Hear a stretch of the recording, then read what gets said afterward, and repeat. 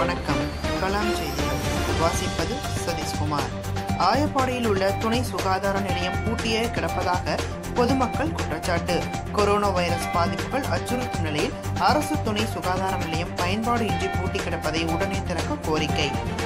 உலகம் முழுவதும் corona virus அச்சுறுத்தும் நிலையில் நாடு முழுவதும் மருத்துவ மற்றும் சுகாதார பணிகள் தடுப்பு நடவடிக்கைகளை அரசு மேற்கொண்டு வரும் நிலையில் நாகை மாவட்டம் தரங்கம்பாடி தாலுகா ஆயப்பாடியில் உள்ள அரசு துணை சுகாதார நிலையம் திறக்காமல் பூட்டி கிடப்பது வேதனை அளிப்பதாகவும் தற்போதுள்ள சூழலில் கூட சுகாதார நிலையம் திறக்கப்படாமல் மருத்துவர் செவிலியர் இல்லாமல் சுற்றியுள்ள பல கிராம மக்கள் அவதி உறுவதாகவும் உடல்நிலை பாதிப்பு என்றால் மயிலாடுதுறை செல்ல வேண்டிய அவலநிலை உள்ளதாகவும் சமூக ஆர்வலர்கள் மற்றும் பொதுமக்கள் குற்றம் சாட்டுகின்றனர்.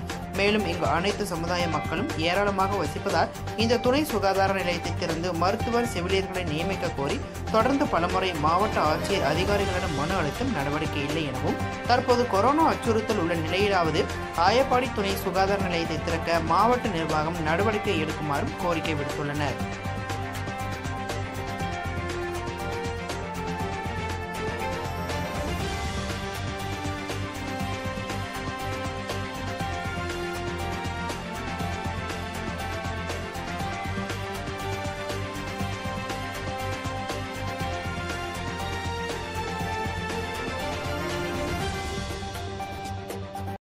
எனது பெயர் ஆயப்பாடி முஜிபுர் ரஹ்மான் சமூக ஆர்வலர் மாநில துணைச் செயலாளர் இஸ்லாமிய ஜனநாயக பேரவை விடுதலை சிறுத்தைகள் கட்சி.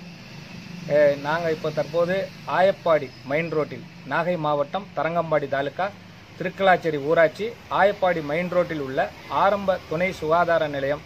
பல வருடங்களாக செயல்படாமல் செவிலியர்கள் மற்றும் ஒரு சில நேரங்களில் வந்து துறைக்கிறார்கள் மற்ற நேரத்தில் அலுவலகத்தை துற துறப்பது கிடையாது. உடனடியாக கொரோனா விழிப்புணர்வு எச்சரிக்கை மத்திய